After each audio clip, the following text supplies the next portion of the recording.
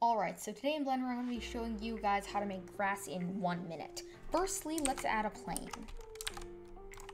Scale up the plane and make sure you've gone and downloaded the Gscatter add-on from uh, the Graswald website. It's free and comes with a lot of assets. I've got the Pro Asset Pack, but the regular one is also good. So now let's go on tab into rendered mode, switch into cycles, select our G-scatter.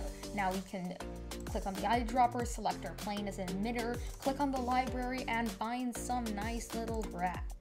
Let's set the material quality to medium and the level of detail to low so we don't get lag. Scatter the selected and boom, we're gonna click OK. And now we can turn up the density so that we have a lot of fun grass. And now if we look into cycles, we see we have some beautiful grass and you can change that up as much as you want. So as much grass as, as dense as you want.